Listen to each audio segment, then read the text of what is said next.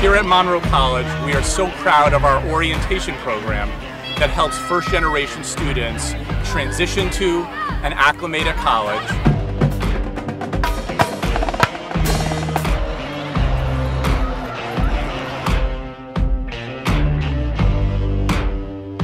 Getting them to bond, getting them to relax, and getting them to be ready for success and graduate from the college.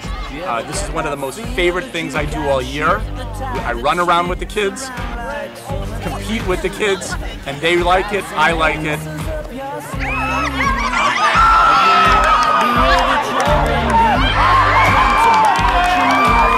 And the thing we find is the students who participate in this kind of program